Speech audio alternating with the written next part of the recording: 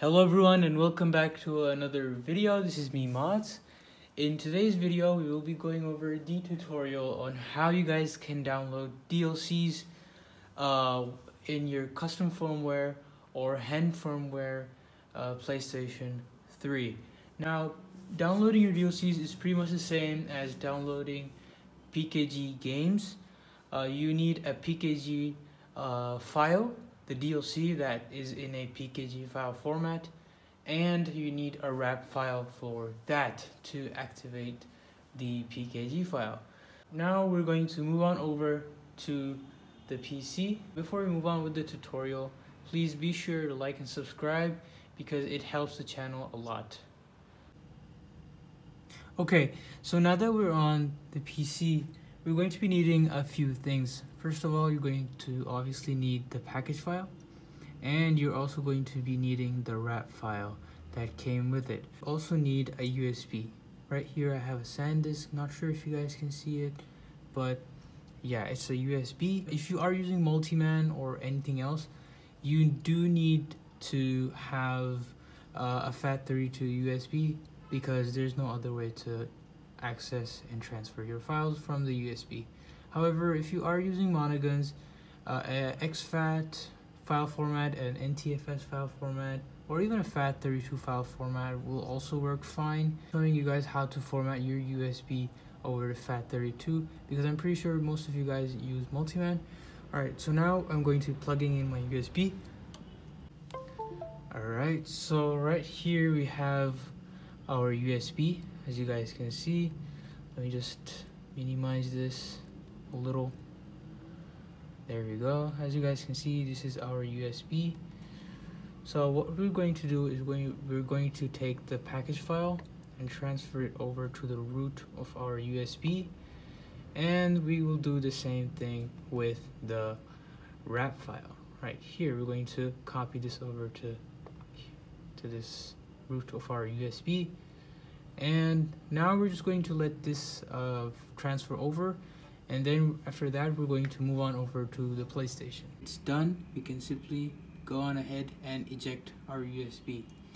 Now one thing that I did forget to mention is to how to format your USB. So to do that just simply right click and go on over to format and select your uh, file system that you want. There's exFAT, there's FAT32. I have it on NTFS after you're done selecting your file type, just simply go on ahead and press on start and it'll format your USB. Now we're going to eject our USB and move on over to the PlayStation. Okay, now that we're done transferring the files from our PC to our USB, now we're going to take the USB and plug it into our PlayStation 3.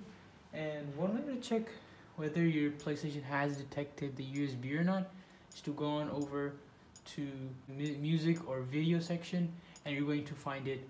You're going to find uh, something like similar to this but it's going to be USB disk the uh, my USB is not showing up because it's an NTFS USB as you guys saw above. We are using ManaGunZ uh, pretty much any file format.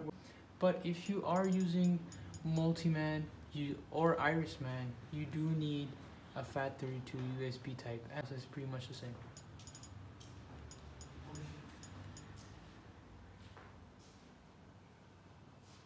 so now that we have ManaGunZ loaded up, we're going to go ahead and press on select to open the file manager.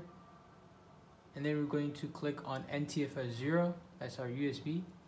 And then this is the RAP file, and this is our PKG file. First, we're going to transfer the RAP file first because it's small and will take less time. So we're going to press on select, press square to select, and then click on triangle.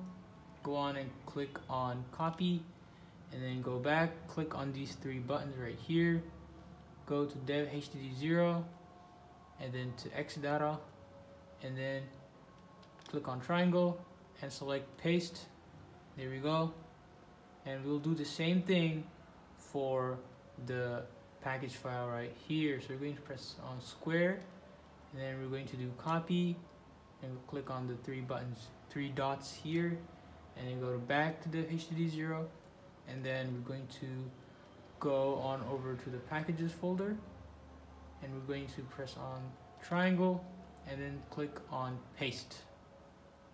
Now, now this does take some time, so after this is done, we're going to move on over to the next step. Okay, so now that it's done, we're going to click on the three dots again, go back, and press on circle, circle again, and then circle three times, and we're back on the XMB screen.